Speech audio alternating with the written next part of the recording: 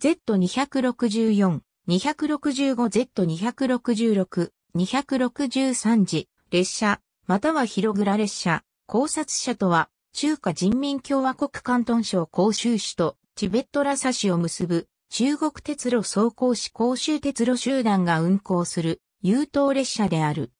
Z264、Z265 は、ラサ行き、Z266、Z263 は、甲州行きの列車番号であり、どちらも途中の停州駅で列車番号が変更される。2006年10月2日に運行が開始され、10月5日より確実運行となった。乗務員は、甲州鉄路集団甲州客運団広倉社チームが乗務している。Z264、265Z266、263次列車の運行距離は 4980km で、モスクワ行き列車と臨時列車を除けば中国最長距離の列車であり、世界でも8番目に長い運行距離を持つ列車である。経路は、関東省から、湖南省、湖北省、河南省、先西省、甘粛省、青海省及び、チベット自治区の8つの省と自治区を通過する。この他に、Z264、265Z266、263次列車は、世界で最も高い地点にある鉄道駅、チベットのタングラ駅を通過し、その海抜は5072メートルに至る。Z264、265Z266、263次列車の運行時間は、甲州発ラサ行き列車が54時間11分、ラサ発甲州行き列車が54時間53分である。しかし、中国国内列車で最も運行時間の長い列車は、長春昆明間で運行される K2-288、2285 K2-286、2287次列車で、その運行時間は68時間25分に及ぶ。Z264、265Z266、263次列車は、運行開始以来、中国鉄道部から後期列車、貨車等、少々など30余りの称号を授与されている。2006年7月1日、製造鉄道の全線開通に伴って、中国鉄道部は、北京西行き、生徒、重慶行き、青年、蘭州行きの3列車の運行を開始させた。いずれの列車も高い乗車率を保ったため、中国鉄道部は関係する鉄路局とともに、製造鉄道、老海線、京光線、京古線等各路線の列車ダイヤを調整し、2006年11月の大型連休の期間までに、上海、甲州発ら再起旅客列車を増発することを決定した。そして、上海ラサ間で運行される T164、165、T166、163列車は10月1日、甲州ラサ間で運行される T264、265、T266、263次列車は10月2日に運行が開始された。2007年4月18日、第6次大日下げ速が行われ、甲州ラサ間の所要時間は、ラサ行きが2時間、甲州行きが3時間短縮され、それぞれ55時間53分と56時間10分となった。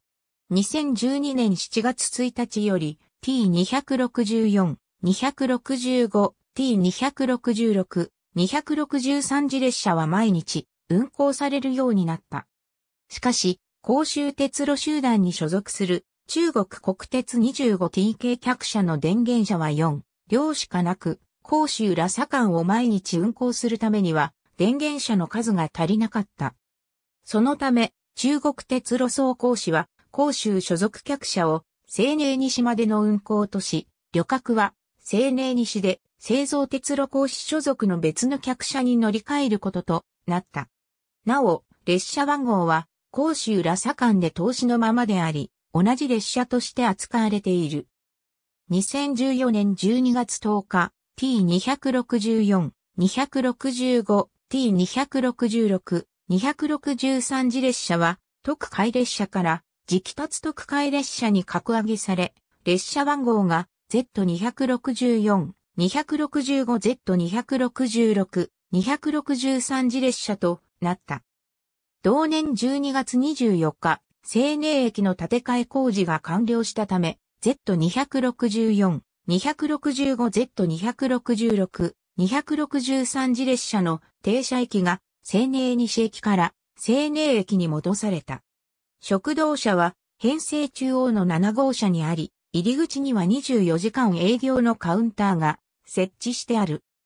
甲州ラサ間の所要時間は長く、乗客のニーズを満たすために、甲州ゴルムド間の食堂車では、食事時間帯以外では、峰南地域独特の工夫茶をはじめとした飲料を提供し、食事時間帯には2名の料理人によって、四川料理、関東料理、コナン料理、精神料理や西洋料理等の各種料理を提供している。ゴルムドラサカンでも西洋式ファーストフード弁当の販売が行われる。25TK 客車2006年10月2日の運行開始以来、甲州青年間は15両編成の 25TK 客車チベット高原型で運行され、青年ラサ間ではさらに電源車1両が連結される。車内の色調は座席の等級ごとに異なっており、南布施車は赤色、甲布施車は黄色、食堂車は紫色、高座車は青色となっている。また、各車両にトイレと洗面所が設置してあり、24時間お湯を提供しているほか、南布施車と食堂車には液晶テレビが設置してある。高山病対策として、列車の空調は中央制御方式で冷暖房のほか余圧を行い、列車内の酸素量は常に23%に保たれている。また、ゴルムドラサ間の高原区間では、車内に設置された酸素供給管から旅客に酸素を提供している。